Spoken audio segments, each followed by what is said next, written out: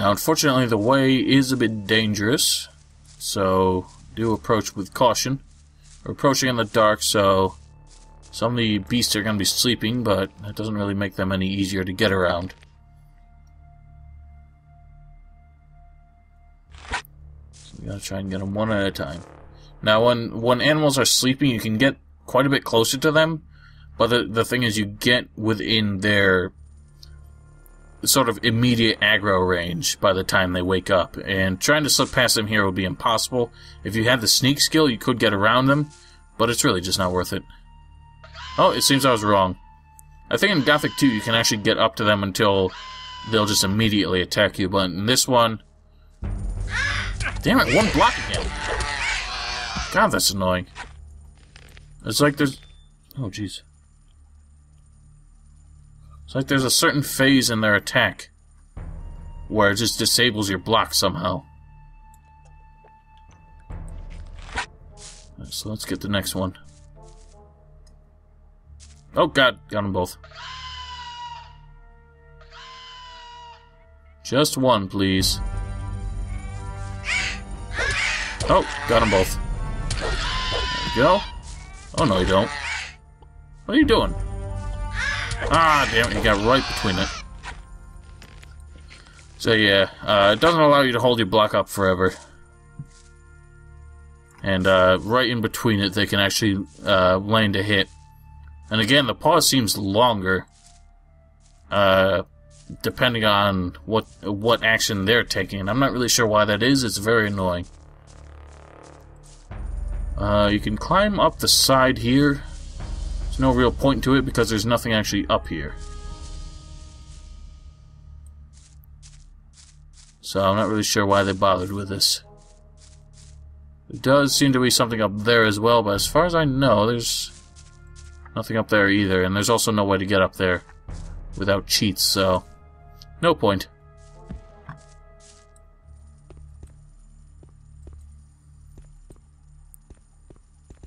Got another mole rat. Damn. Fucking hell. You motherfucking bitch.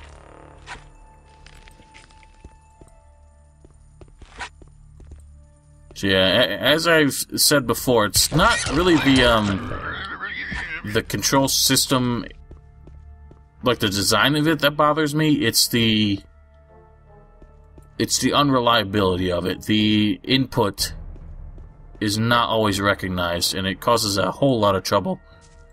Where uh, just even when you press the buttons properly, it doesn't do anything.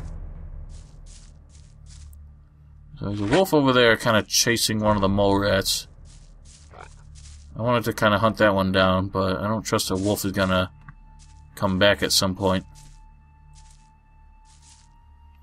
So we'll make our way around him. Maybe we can kill a mole rat from this side. Yeah, for some reason mole rat just stopped. He's frozen in fear.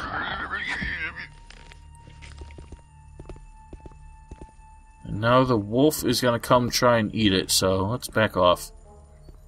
So here... Ah, a visitor. Don't make any trouble here, or else you'll be for it. For what? I'd better be going. I hope we understand each other. This guy's a creep. He doesn't have anything important to say, so that's why I kind of ignored it. Uh. Anyway, this is the free mine, as it's called. It's the uh, New Camps mine. And uh, it's fairly impressive. There's uh, quite a lot of construction on the outside. It's like a quarry out here, and some caves underneath. And there's a lot of mercenaries around here guarding it, uh, making sure the uh, diggers are working. There's a couple people around here, but they're mostly a bunch of assholes, so uh, you can see that the there's a gate over the entrance, so you can never actually get inside at this point in time. And if you do use cheats to get inside, you'll find things are not as you would presume they would be, and that's simply because you're never meant to get in there at this point in the game. So when you get in there, it's the everything you find in there is set up based on how the story has progressed by chapter 4 or so. So, don't really bother trying to get in there. Things are going to get weird and you're probably going to get confused. Who are you? I'm the best mining engineer this damn colony has ever seen, my boy. I make sure half our boys don't go getting themselves killed by falling rocks just because they're too stupid to scrape the right places. I'd like to join you as a scraper. Oh, yeah? Well, just don't think you're gonna get anything much out of it. There's three portions of rice a day. Any extra, you'll have to see to yourself. Do you know why we're doing this?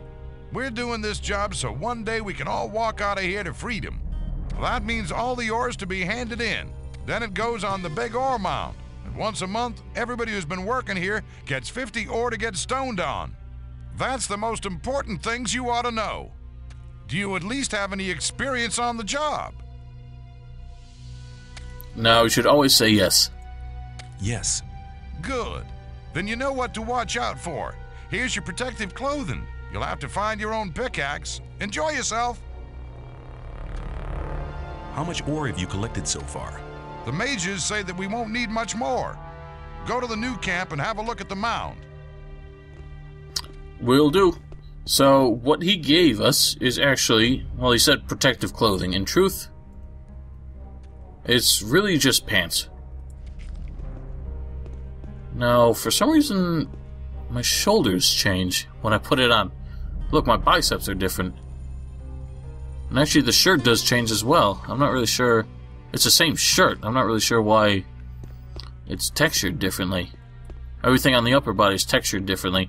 I think the the reason for that might be that the uh, the models for armor in this game are they're the the um uh, the, the mesh for it uh, covers like all the other armors cover the shoulders, the torso, all the way down to the feet, and sometimes they have gloves on, but um so I think when they when they made the diggers pants, even though it's just pants and it doesn't include uh, any shirt or anything, I think they had to kind of like redo quickly redo the texture for your character's upper body to go with it because otherwise it would just view it as kind of like an like a, a mesh with no texture so i think your whole torso would probably be invisible that's my uh, limited understanding of how textures and meshes work though anyway here's an asshole Hey, you! You're not one of my men. What are you doing here? I'll just have a look around here. Then just watch out that you don't mess up here in the hollow, else you'll be in your grave faster than you'd like to think. man you're a jerk Who are you? I'm Okyl. I'm the boss of the hollow. I just wanted to have a glance into the mine. Oh, you just wanted to stroll into the mine. Suppose you don't have a clue what's going on here. Nobody sets a foot in the mine without my permission. Always remember, whoever goes into the mine or the gatehouse without my permission is a dead man. man he is serious I need to go on. Then leave me alone.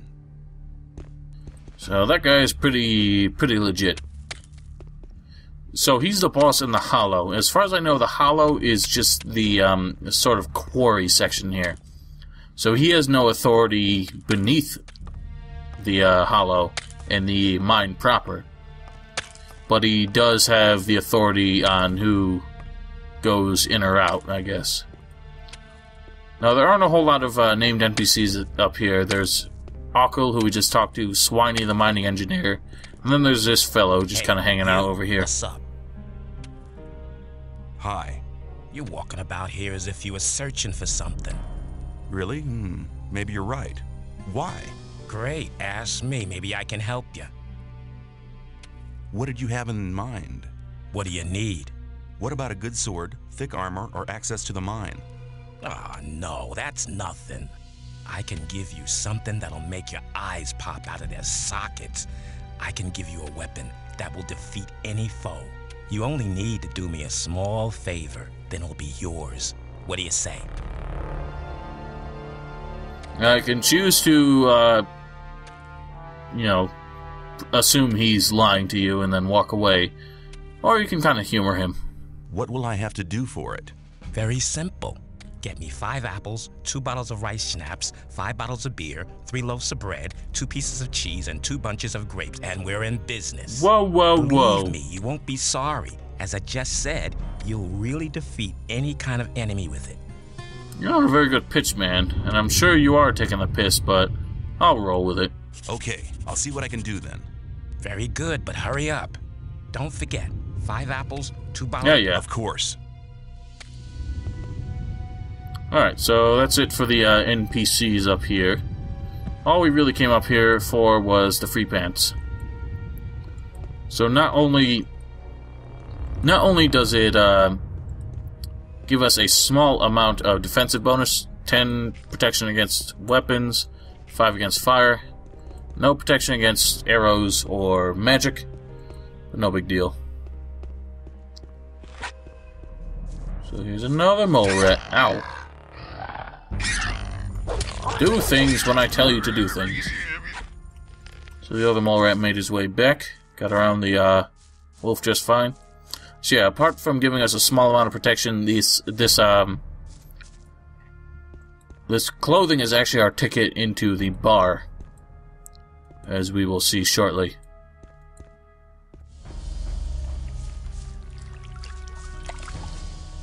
And where do you want to go? Why, in there. Forget it. Silas only wants to see scrapers and rogues in his bar. I'm a scraper, and I'm thirsty. You look like one of those filthy rats. Come on in. So there we go. Because we're dressed like a scraper, we get our entry. Now, there's a couple people with names in here. Senyan. You're from the free mine, right? Right. How'd you find that out? And that's it. He has nothing more to say to us. I have no idea what his purpose is. And here we have a fellow named Cipher. He doesn't do anything, but he will have a uh, purpose later on. Here's a fellow named Sharky. Now, Sharky, I think spends more spends his time in the uh, in the um, actual camp. I'm, so I, he's the only rogue I've actually seen come down here on a regular basis. Hey, how's it going? Do you want to buy something? Maybe. I need a few things. And he's got mostly crap. No weapon that's better than ours. But he's got some lockpicks, some potions, a couple schnapps. So I'll talk a bit more about the. Um, so yeah, each uh, each tooth you get from animals is worth five ore, and I think it costs fifty to learn it. So that's what is that? Yeah, I guess it only takes 10 to make your money back. Where did we get these? Holy smokes. I remember getting those. Those are pretty valuable. Uh, so yeah, um... Ooh, we cannot sell that. Uh, what, was I saying? Yeah, I'll talk a bit more about the economy of the, uh, old camp momentarily.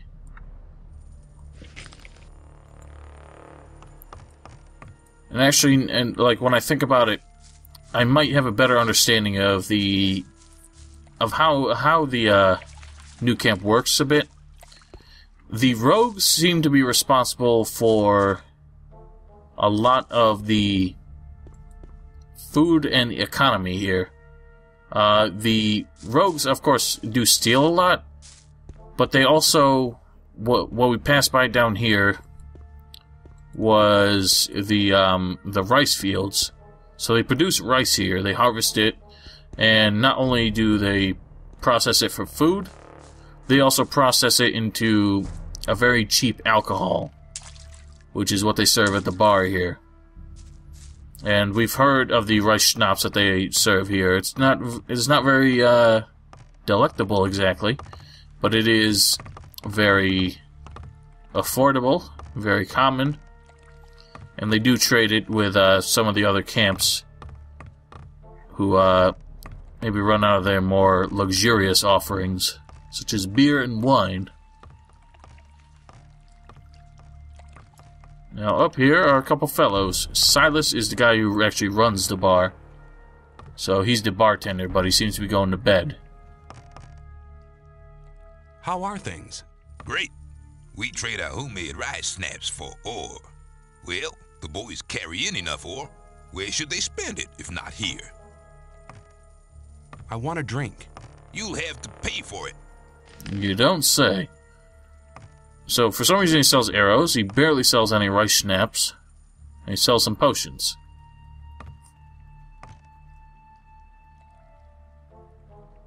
So, we don't really need that or that. Yeah, you can find, like, gold coins in this game. They're not actually worth anything just because they don't trade that out of the camp. They don't trade that out of the valley.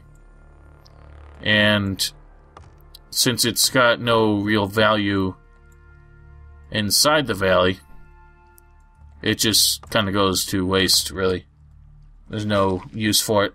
Now, for some reason, Silas, like his uh, trade menu disappears after you trade with him once. It's a really weird glitch. I think some of the mods have patched that out, but I'm not really sure why it happens. Damn. Why did Oh, hush. So, I figured I'd just take advantage of the bed while we're here. And during the daytime, those guys are both downstairs, so you can, uh, take advantage of that to try and rob them. For some reason, they don't mind you coming up here. Left, right, left, right, left, left. Very nice. And yeah, using beds, it's it's kind of funny how you can kind of exploit the AI. Ah, bugger. Right, left. Ah, bugger. Right, left, left, right. So, yeah, uh, unlike games like. What the? You know, I always forget about this. There's a floating, like, candle holder up here. Kind of surprised that never got patched out. So, yeah, um, unlike a lot of uh, games like uh, Elder Scrolls, wow, those pegs are off too. They really fucked up up here. Um, unlike the Elder Scrolls, for example, you you can actually use beds that are owned as long as uh, somebody else isn't using it. But if someone else is using it, in Gothics 1 and 2, you can actually wake them up. And once they stand up, you can take the bed. And it's pretty hilarious. Uh, for some reason, you cannot do that in any. in Gothic 3 or any of the Risen games. I'm not really sure why, but. Uh, yeah, so you can't really use that exploit anymore. Anyway, this fellow's name is Jeremiah. He seems to be the brewmaster here. What are you doing? I'm making rice schnapps, boy. Here, have a bottle. But don't tell Silas. How's the distillery going? I can hardly keep up with these guys. Man, can they drink. That's a good thing, really. While I'm busy, the Rice Lord's lapdogs leave me alone. Rice Lord. What can you tell me about the Rice Lord? He's a damn swine. His thugs pick on the weak and force them to work in the fields. The only one who could stand up to him is Horatio, but uh, he doesn't do violence. Well, I did once hear him say he'd love to smash the Rice Lord's head in, but uh, uh, he'd never really do it. It'd go against his beliefs. I see. Well, we'll certainly keep that in mind, because I have the strange feel. Excuse me. Whoa. I have a strange feeling that that information is going to come in use later. Uh, we'll talk to that guy later. Nice blue sky. Alright, let's have a word with a fellow on the bridge who has been standing here patiently all night. Homer.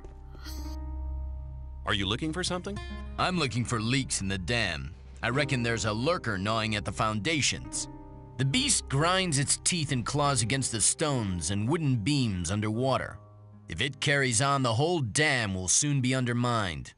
Oh, yeah? Is there anything I can do to help? Sure, stop that beast from gnawing at my dam. Where can I find the beast? I'd hunt round on the other side of the lake. Nobody ever goes there. That's probably where its den is. Stands to reason. Did you build the dam? Yes, I built the dam back when we founded the new camp. Of course, everyone helped, but I was the master builder. So the dam, its function is to barely let any water through, uh, mostly to ensure that the uh, rice fields don't get flooded. So it's interesting that they they got some really good engineers thrown in the colony here. Um, so I'm assuming that all the engineers here were also convicted of a crime, but they were probably thrown in here with a specific purpose of helping with a lot of the construction required to operate the mines. And uh, Homer was obviously a, a bridge engineer of some kind, and then Swiney was a mining engineer. Perhaps, though, some of these guys might not have actually been criminals, but they were sent here by order of the king, probably with pay, to try and uh, do some of this. But maybe got trapped in there as well un- unintentionally, along with the mages, when the uh, barrier was formed. You know what? We are going to uh, actually do the uh, mission down here. Basically, unless you want to do the same kind of drudgery every single day, you have to make sure that you don't approach the uh, new camp from the path. You should always approach from this side.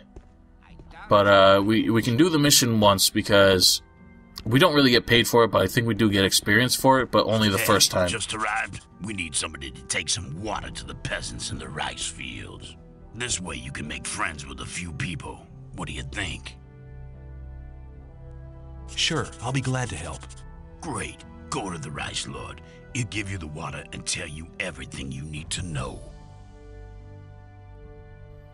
Once again, you have to be careful you don't misclick, because some of these dialogue options can uh, really screw you up. So this here is the Rice Lord. He is a real asshole. He's got an interesting weapon. You take care of the rice fields, don't you? Why? You looking for work? Lefty sent me. Oh, yeah? What did he say? I'm to bring the peasants some water. Right. Here's a dozen bottles of water. There's about twice that amount of peasants, so make sure you share it out evenly. I have no idea what he means by that because it is not possible to distribute these 12 bottles among over 20 different peasants. So it really doesn't matter. Just give the 12 bottles to the first 12 people you see. Now, this is where the game gets really annoying. Let me show you. Oops. Lefty sent me. Now, even though I skipped the dialogue there, I cannot skip the animation of him drinking it. Thanks, boy. I needed that. So this game, for all 12 bottles of water, forces you to watch every single one of these peasants drink it. It is extremely annoying. So I'm going to skip past all that. The first things I'm going to show you are the NPCs who actually matter. What are you doing here? You looking for trouble? Hey, relax, I'm a newcomer. Huh? You look okay, though. You never know. You get new guys come along thinking they're it every day. What's a man like you doing with the peasants? Lee asked me that. I don't fight anymore, except to defend myself. I killed a guy once. And that was once too many. That's why they chucked me in this goddamn colony. It was justice. How did it happen? It was just an ordinary bar fight. I didn't mean to kill the guy. I just must have hit him too hard. I was a blacksmith at the time. I didn't know my own strength. Why did you join this camp? I'll tell you. My only option was to join those sect loonies, and I didn't want to let those gurus of theirs mess about with my brain. In the old camp, I'd have had too much trouble with the guards, but the mercenaries and rogues do have some respect. They're afraid of you? Maybe. Anyway, I found peace here, and you should try the same. Now it's interesting to note that even though we've heard that the rogues are pretty ruthless to the other fellows, they seem to respect Horatio a bit more, probably because they know he's the one who's actually strong enough to fight back. So they treat him with respect just to make sure that uh, you know he doesn't fuck them up. Can you teach me to be as strong as you are? Even if I could, what would you use your strength for? Now this is where you have to uh, be very careful.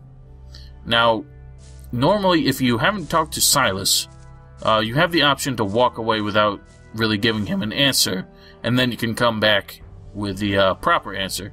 If you use this, the uh, teach the bastards how to talk to me properly, or you say self defense, Horatio will not uh, be on your side. He will not teach you anything.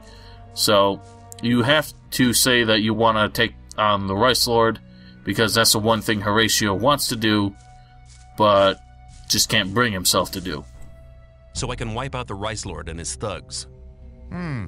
You wouldn't be the first to try that. But I will. I will defeat the Rice Lord and his thugs if you help me. Good. I've sworn I'll never attack anyone again, but I never said I wouldn't teach anyone else to do it. I'm all ears. If you want to hit powerfully, you need to know the right tactics. That's the first thing you learn as a smith. Learn to push your whole arm through, from the shoulder down to the wrist. The better you get at that, the more powerful the blow. You'll get the hang of it pretty quick. Thanks. Thanks for your help. Use your knowledge for a just cause, and for nothing else. Well, thanks for helping me. Here's a bottle of water as payment. Lefty sent me. I've brought you some water. Thanks, man. I was just about to start drinking the mud. Alright, now there are two more peasants out here who have names and therefore something to actually say. The rest of them, I'll uh, I'll take care of them off screen just so we don't have to worry about it. I believe the two fellows are down here somewhere. There's one named Pock. Hi, I'm new here. It's good to see a fresh face. You must have been here a long time, huh? Damn right, boy. Hey, I was one of the first. Now, I'm not really sure why, but I've noticed whoever this voice actor is, and I really want to find out his name. He's not really the most expressive, but he does enunciate a lot. You know, somewhat more naturally. I'm not really sure how to explain what I mean by that, but he's he's appeared in this and Gothic 2, and just the way he talks, he, he kind of like does a believable amount of I'm not really sure what the word is. Just kind of like stammering and uh I don't know, just like he doesn't just read his script and then have done with it, nor does he exaggerate it a lot. He just kind he kind of re- reads it as though you know, it was coming to his mind like it was a real conversation. I'm not really sure how to explain it better than that.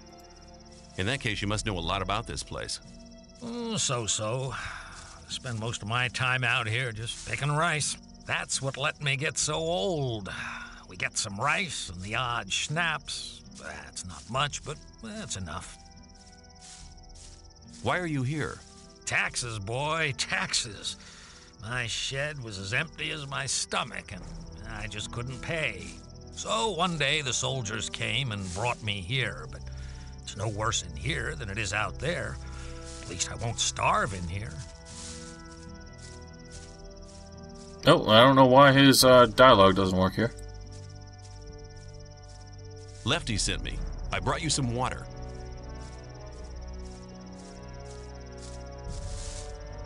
Thanks, boy. I needed that. You are quite welcome. And the other fellow is this guy? Yes, Rufus. Hi, I'm new here. I just wanted to know what goes on around here. Ask someone else, will ya? I do nothing but work out here in the fields. I don't know nothing. Man, I'd love to tell the Rice Lord to do his own damn dirty work. Damn dirty ape. If you don't like it, why are you working here? It happened the first day I got here. Lefty, one of the thugs that works for the Rice Lord, came up to me and asked if I could lend a hand in the rice fields.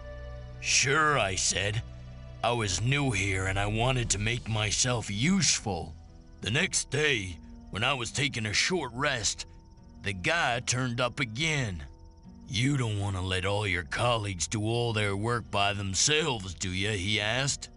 I told him I was exhausted from the previous day's work, that I needed a rest and all that. But he never listened. He grabbed me by the collar and dragged me back to the field. From that day on, he stood outside my doorstep every day until I got used to going on my own. I didn't want any trouble with those guys. They're real cutthroats. You'd better steer clear of them. I'm afraid I've already missed out on that opportunity. is the Rice Lord? He was one of the first to arrive here. He helped found the camp and start up the rice fields. These days, he just hangs out at the warehouse stretching his stomach, the fat pig. Whoops. These. Lefty sent me. I brought you some water. Thanks, man. My mouth's like a desert.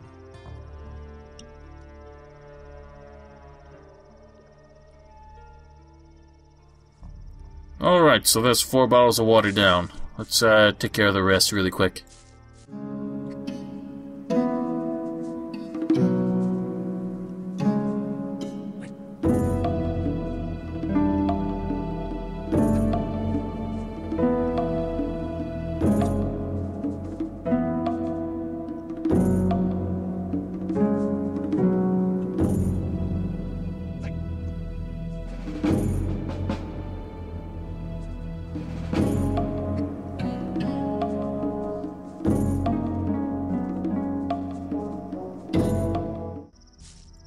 Apparently that was all of them. I don't think I did a dozen that fast. Hey, you! Well done. You're useful for something after all. I think this is exactly the right task for you. From now on, you do it every day. Go on with it right now. I think not. But. Perhaps. Lefty sent me. Oh, yeah? What is. I'm to bring the peasants some water. Right. There's about 20. So, it just kind of doubles up the quest. I'm not really sure why. So, uh, this kind of sticks around. You see the last entry there, it's, it's, it's supposed to make it pretty clear that you're not supposed to actually play along with this. So what I did there was I just scored a dozen free bottles of water. Yoink!